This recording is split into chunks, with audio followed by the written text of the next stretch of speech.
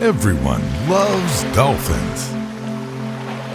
The way they glide through the water and jump through the air is truly magical.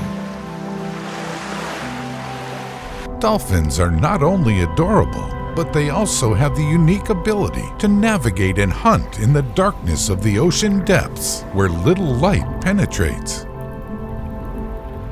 How do they achieve this impressive feat? They do so using a sense called echolocation. This is a unique ability to see the world through sound, and it is an ability that dolphins share with porpoises, bats, and whales. Echolocation functions much like sonar on a submarine. So why would they need echolocation? If you have ever looked underwater in the ocean, you know the view is often murky and not very clear. This gets significantly worse the deeper under the sea you go, where there is little light. In such conditions, how does echolocation work exactly? It works by allowing dolphins to see by interpreting the echoes of sound waves that bounce off nearby objects. Dolphins emit ultrasonic clicks by pushing air between the nasal passages.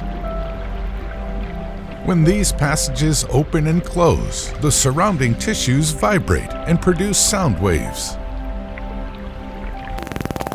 An organ called the melon, located on the dolphin's head, concentrates and amplifies these sound pulses and sends them forward. These sound waves travel through the melon and into the water, bouncing off nearby objects. The clicks or sound waves then return to the dolphin as echoes. The echoes are picked up by the dolphin's lower jaw and forehead, which work like antennas to receive the signals. From there, the signals are channeled through the ears and back into the brain. The brain can then interpret them, allowing the dolphin to see by using sound.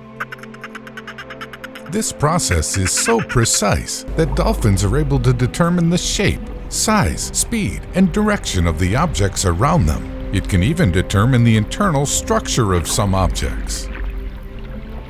At this point, you may be wondering how humans look to dolphins underwater.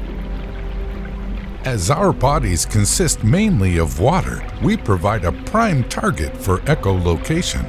If a dolphin were to use echolocation on us, they would be able to see muscle, bone, and scar tissue, and even artificial body parts.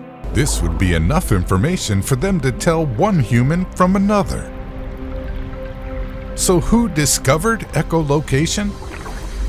One of the first people to study dolphin echolocation in depth was scientist Jacques-Yves Cousteau. He wrote a book about the process called The Silent World, which was published in 1953.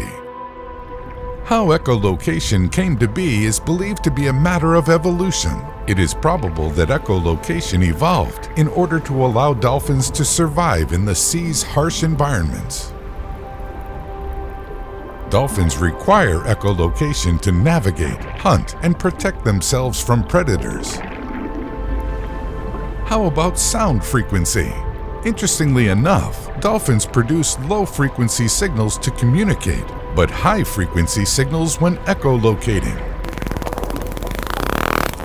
Dolphins can produce sounds with a frequency of up to 130 kilohertz. This is really impressive, since even animals such as dogs and cats, which are known for their amazing hearing capabilities, cannot hear at such frequencies. However, this does make dolphins sensitive to the level of noise around them.